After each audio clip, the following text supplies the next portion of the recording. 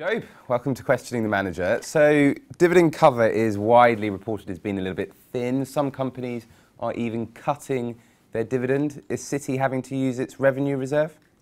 Well, it's very early in our financial year, and I wouldn't be allowed to say whether we are or not. But I'd say there's certainly been areas of weakness for dividends in the UK market, particularly uh, the mining sector, where there have been several dividend cuts and food retailers earlier in the year. But there have also been some positive areas, um, such as house builders, and where we've um, have three of the house builders, and they've all produced highly attractive dividends. So it's not all bad news by any means.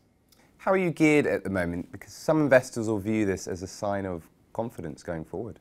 Well, we've actually raised the gearing over the summer. We, the end of June, which is our end of our financial year, we were 6%, which is relatively low gearing and we've moved it up to 10%, taking advantage of some of the weakness in markets. And yes, we do feel that with the setback in the market, this is an opportunity. We have a quite a conservative portfolio, so it lends itself to a bit of gearing in anticipation of rising markets.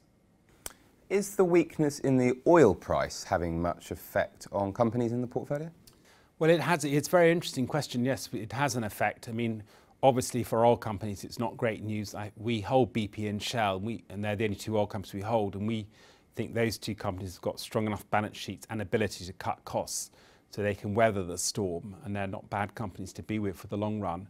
Uh, but we are underexposed compared to market averages in the oil sector. But elsewhere, for the consumer, it's good news. Each time you fill up your car, you're spending less on petrol. So those type of companies like pub groups, like Greene King, which we hold, in the portfolio which are exposed to consumer spending, they should see the benefit over time.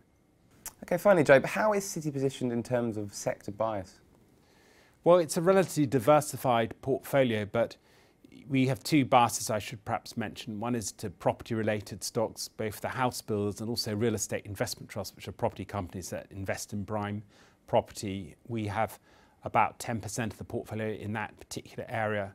And then another area we quite like at the moment is insurance, particularly the life assurance sector. And a combination of the life assurance and non-life assurance is about 10% of the portfolio. So it's kind of well diversified across the piece. We have some of our long-term favourites in consumer staples, some of the global companies in that area. And also I think the bank sector is getting more interesting and we have decent holdings in HSBC and we've bought back into Lloyds this year as well. Job Curtis, thank you.